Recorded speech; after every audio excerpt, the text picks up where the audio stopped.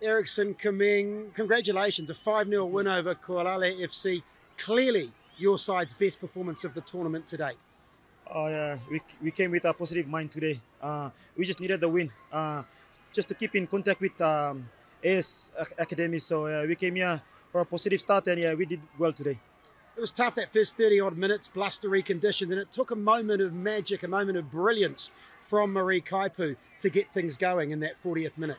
Oh, yes. Uh, like I said earlier, uh, during the tournament, uh, before the tournament, uh, uh, I just gonna rely on her, and yeah, I think uh, her performance today uh, did well for us. And to set up the second goal too, when she could have shot, she weaved a bit of magic in the box and then laid it up for that second crucial goal just after half time. It was critical, wasn't it? Uh, yeah, that goal boosted us in, in the second half and uh, kept us going. Uh, I think uh, she did well because without the setup, uh, we wouldn't got a second goal. What about the support? I mean, first time in the tournament, the crowd have really turned up, and it shows you that how much they love football. What's your message to the fans about Saturday?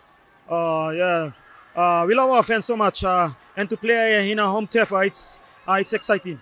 And the performance, uh, we have to give back to them and uh, say thank you to them. And uh, I think uh, we're gonna lead, we're gonna need a lot of supporters uh, on Saturday against Labasa. All the best. Thank you. Thank you.